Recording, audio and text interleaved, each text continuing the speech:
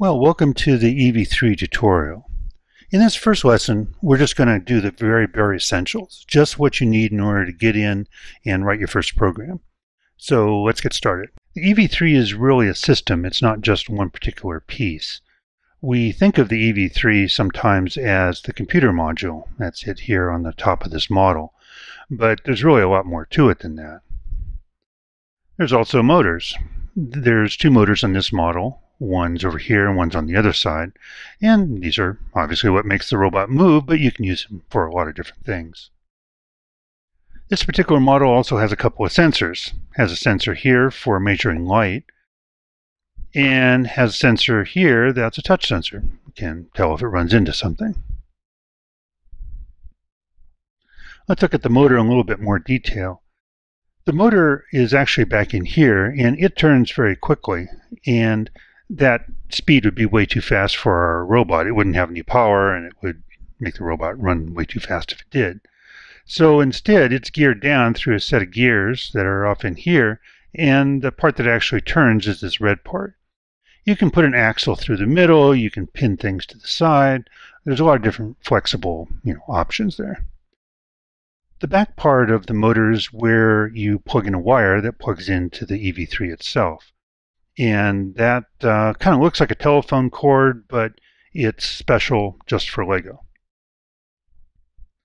There's also a smaller cousin to the large motor, coincidentally called the medium motor, and uh, it again takes a plug in the back, and just as a little red part in the front here turns, so you can put an axle in there and um, turn other things. There's a whole array of sensors that you can get for the EV3, some of these may have come in your kit, and some of them you might have to buy separately. Everybody gets touch sensors, though. These are very simple switches that portion is pushed, then the EV3 can sense that and know to do something. There's uh, color and light sensors. They can sense color, so there's a array of different colors that they can sense red, green, blue, and so on or they can sense just light intensity, how bright the light is that it sees. There's a distance sensor. This is ultrasonic, so it works kind of like a bat. It puts out a high frequency chirp through one of these sides. It goes out, bounces off of something, goes back, and is received by the microphone on the other side. And by measuring how long it took for that sound to come out, hit something, and come back, the EV3 can tell how far away something is. The gyro is a new sensor for uh, LEGO, and it can sense tilt. So you see these arrows here. As the sensor is rotated, the EV3 can sense that and make decisions about it.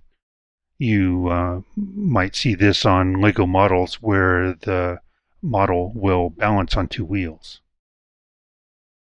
Not in the educational set, but certainly in the retail set, is the infrared sensor. This sensor can measure what angle the beacon is at. You can also send commands from the beacon to the infrared sensor to um, be able to tell your robot go forward, backwards, you know, turn, and whatever without having to write programs for it. Let's look at the EV3 computer module in a little bit more detail has a series of buttons down here on the bottom. That, that, those are navigation buttons, you know, up, down, left, right. The middle is a select key, so that's how you say OK or enter, like you would on a computer. This uh, button over here is the back key, kind of like the back key on a browser. It will back you up one level. It'll also cancel certain operations. That's, that's also how you would shut it off. On the side of the EV3 are a couple of expansion uh, possibilities. One is a USB plug. This isn't where you would plug in your computer to program the EV3, but it does allow one EV3 to be a master and then have a bunch of zombie EV3s that it's controlling in order to get more motor and sensor ports. So if you ever want to build a really, really huge model that needs more than uh, the number of motors and sensors that you can plug into an EV3, then that's how you can do it. The top portion of the EV3, that's this portion up here, is uh, where you plug in your motors. So you have four motor ports here.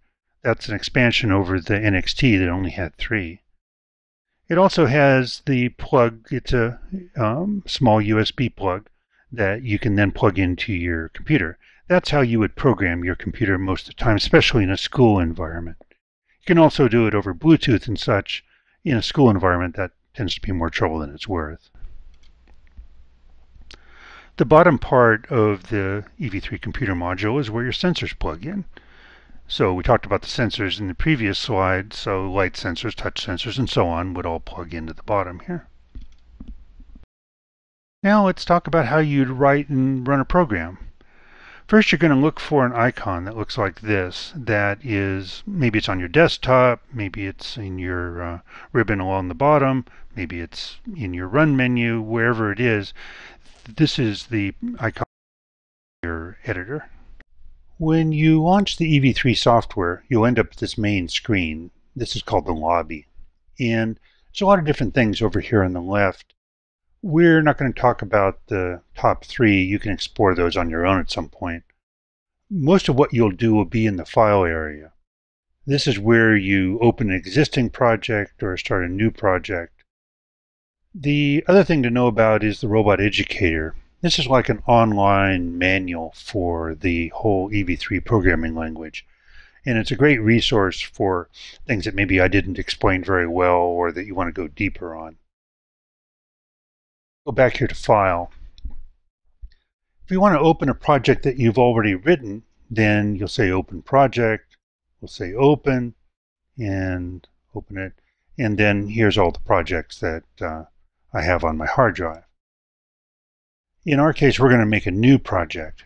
Uh, everything on the EV3 is made up of projects and programs, or projects and experiments. You'll see this experiment thing show up sometimes on the educational version of the software. We're not going to talk about it much, but if you wanted to use the EV3 to collect data for science experiments um, in science class or something, this would be a place where you could do that.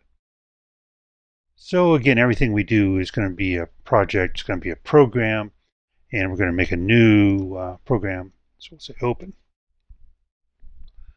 This gets us to the main editor.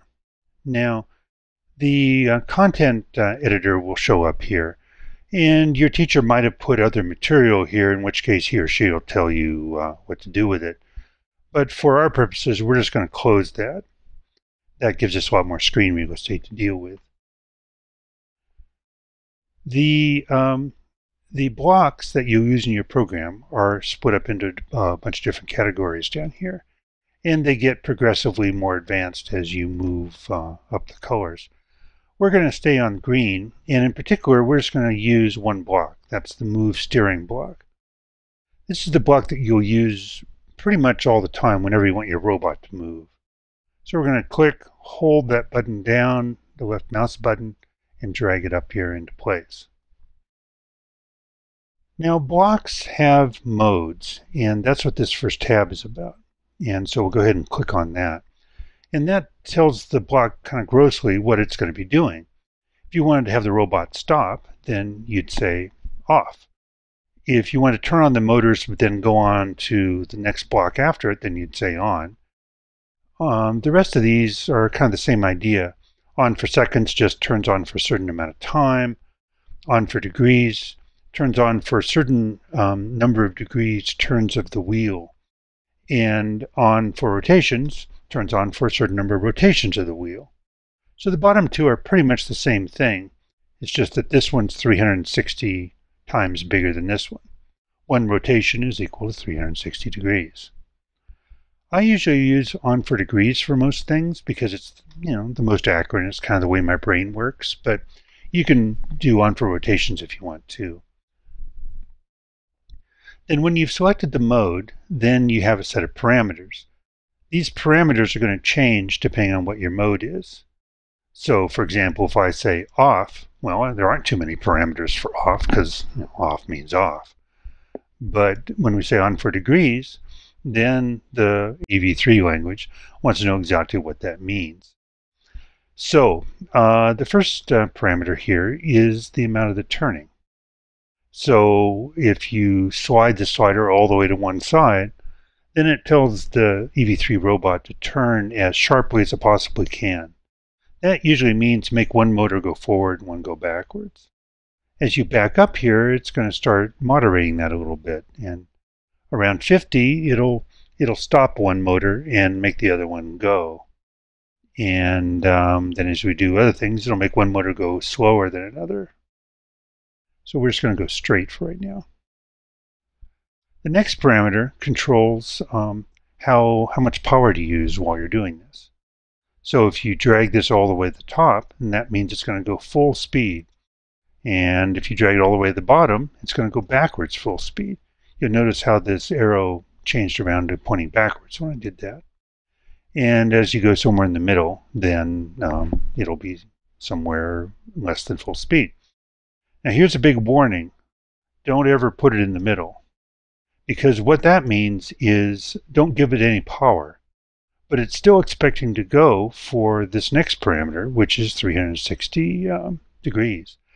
And it'll never get done because uh, zero power means the motor's never going to turn, but it's still trying 360, and the end result is the block will just hang up your program and never advance past that block. So let's go ahead and give it some power.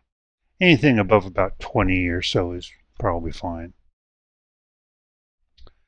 Then the next one is uh, how, how long to do this. In the case of moving by degrees, it's how many degrees for the axle to turn before we go on to the next block. 360 being one complete rotation. If we said 500, then it's, you know, more than one complete rotation. And the last block is whether you want to brake or coast at the end. Uh, brake um, is what you'll do most of the time. The robot comes to as quick a stop as it can.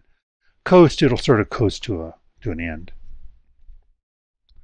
The other thing that you can set is what ports the motors are plugged into.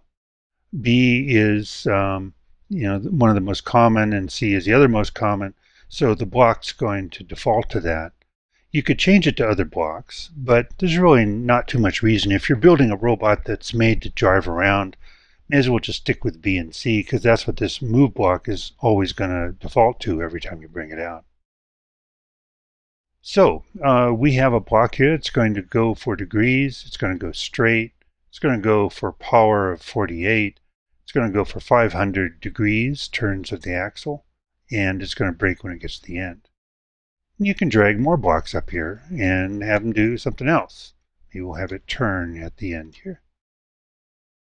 So when the time comes for you to write your own program, this is all you need to do right now is just drag these move steering blocks and put them up here and uh, you can you can string as many of them together as you want. All right, so now we have our program, but we're not quite done yet because we need to name it. We need to name two things. We need to name the program and the project that it's a part of. Naming the program is easy. You just go on up here and um, we'll call this test program. That's really not a very good name. What you'd like to do is have a name that describes better what uh, this program does, but we're lazy for now. Now, it's part of a project that's right now called Project, and that's not uh, very descriptive. And in a school environment, you probably would like to have the projects um, called your, you know, something to do with your name so that you can keep track of whose program is what on the robot. And uh, you would think you would double click here, but no. You go on up to File and you have to save the project. So we'll do a Save As and oh, we'll call it My Project since we're being not very descriptive about our names today. And now we say Save and um, I already have one of those, but I just replaced it. And so now we have a project called My Project. There's a little wrench over here that you can click on and you can see all the different um, uh, programs that are part of this project. We just have one right now. This project title doesn't have anything to do with the name of the project. It's just for your own use. And you can add lots of other materials here, and we'll get back to this later um, because you'll to uh, writing more and more advanced programs. But for now, we'll just go back over here to test project. So let's take a look at uh, what we have to do on the EV3 in order to download this. So for the rest of this tutorial, we're going to need a robot. And the robot that I'm using is the standard design from the EV3 educational set. Uh, the plans for this are in the booklet that came with the set. If you have the retail kit, uh, you'll have to chase down uh, other plans for a basic robot. But this is uh, really just a robot with two motors, one on each side, and a touch sensor and a light sensor on the front. So looking at the EV3 itself, to turn it on, you press the button in the middle, and the robot um, will take about 30 seconds to boot. Uh, it's running a full version of Linux, and so it takes a little while. And when uh, you've turned it on, then uh, you'll be to this tabbed screen. And there's four tabs along the top here. The first one is the most recently run programs. And you'll see a list of the programs that have been run most recently. A, that your program is going to show up here, show up here because you haven't run it yet. And so um, let's go ahead and download the program and you'll see what I mean. There's a series of three buttons over here that download the programs. The top one's the one that you always use, and that downloads the program into the robot. The middle one downloads it and runs it, which you very seldom want to do because that ends up with the robot running off the table and crashing into the floor. And the bottom one downloads a piece of your program. You very seldom ever do that, so the top one is the one we're going to use. Usually you'll be uh, running these um, programs and downloading them from your computer using a USB cable. And so you go ahead and plug that in. I happen to have mine hooked up with Bluetooth right now because I'm out of USB ports. But um, yours will look basically the same, except there'll be a little box here that under the USB. So we'll go ahead and download it. And you hear the happy little sound. That means that our program's ready to go back at our robot. Now, it stays on whatever tab you were on last. So if you just recently turned on your EV3, it'll probably be on this tab. Your program hasn't been run, so it doesn't show up here on this tab. We need to go over to this next tab, so we'll press the right key. Now we're over here on the, uh, the right tab. And sure enough, here's the project that we just downloaded. We'll go ahead and open that, so I'll press the Enter key. And here's our program. So we want to run that program.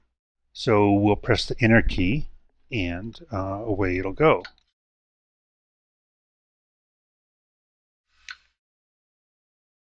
And when it gets done, it'll be back on that, that program. Now, because we've run it, it'll be over here also on most recently run. But if you make any changes to that program, if you edit even the smallest thing on it, it'll disappear off of this menu and you wonder, what the heck happened to it? Well, they're always over here under this tab. In some ways, it's almost best to ignore this first tab of most, most recently run until you have some programs that are really well debugged and you're not changing all the time because they'll sometimes they'll be there and sometimes they won't. So now it's your turn.